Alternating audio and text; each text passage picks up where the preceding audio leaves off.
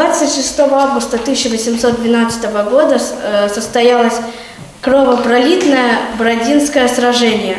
Здесь останавливался сначала Кутузов, затем Наполеон, усадьба Большие Веземы и Отечественная война 1812 года. Очередная встреча юных краеведов посвящена Дню защитника Отечества. В роли экскурсовода 11-летний Александр.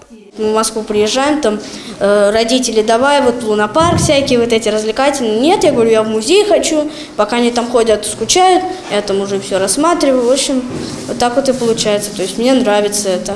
Бабушка – знаток истории Крыма, тетя – экскурсовод. И Саша решил от них не отставать. В клуб юных краеведов пришел сам, как только узнал о его появлении – и не пожалел, ведь здесь нет скучных уроков. Главное, что не как в школе, то есть ты сидишь, делаешь, что тебе говорят, а тут ты э, и узнаешь что-то новое и в позе развлекательного, то есть реально очень интересно.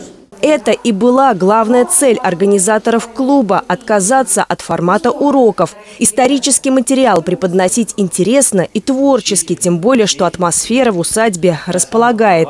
Встречи посвящают историческим датам. Впрочем, не всегда они проходят в стенах музея.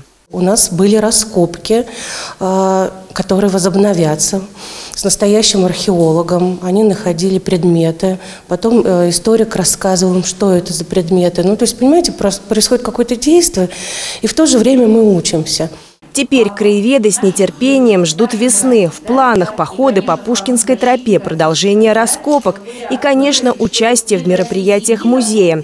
Но самое главное, уже летом юные краеведы дебютируют в качестве экскурсоводов. Евгения Августина, Эмилия Аракелян, Николай Бирюков, телекомпания «Одинцова».